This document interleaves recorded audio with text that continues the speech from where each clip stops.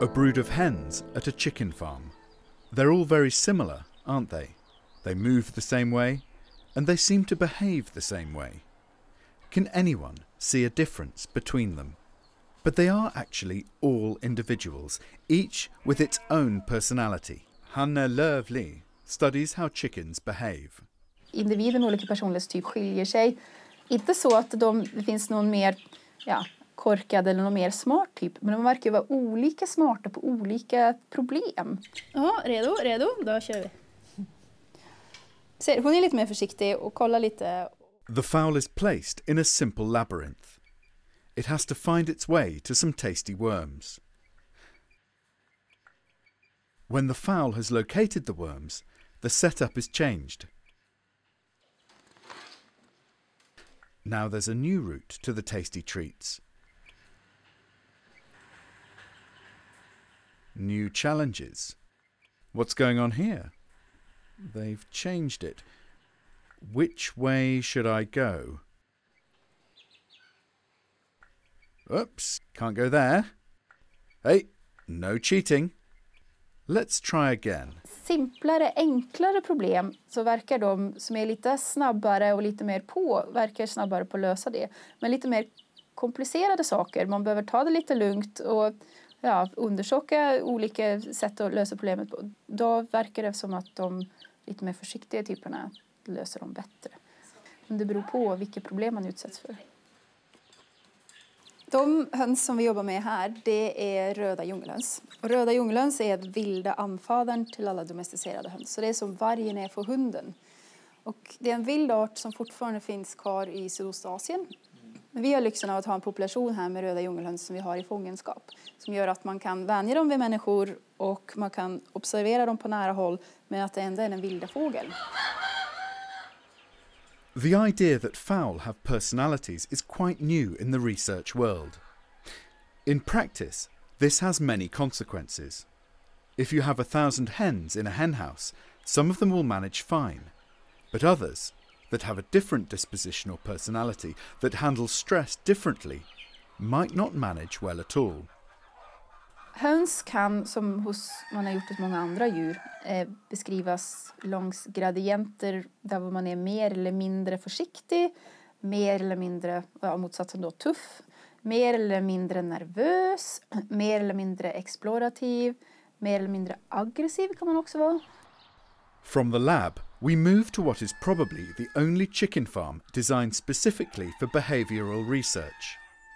It's located in Vreta, outside Linköping.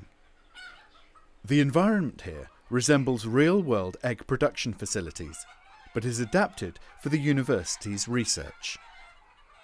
Stress är, så att säga det nav som mycket av vår forskning roterar att djur i det moderna lantbruket de utsätts för stress egentligen från födelsen till döden.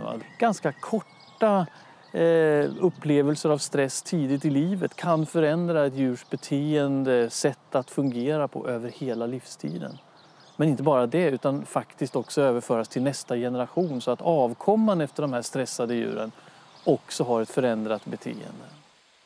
Over the past 50 years, the lives of fowl, and indeed of all domestic animals, have changed completely. Vi får dubbelt så mycket mjölk från en ko, dubbelt så många ägg och dubbelt så mycket fläsk ifrån en gris och så vidare. Det är ungefär 8000 år som, som eh, har gått sedan människan först började att avla och förändra djungelhönsen till det som har blivit idag. Och vi vill ju veta vad som har hänt under den här processen.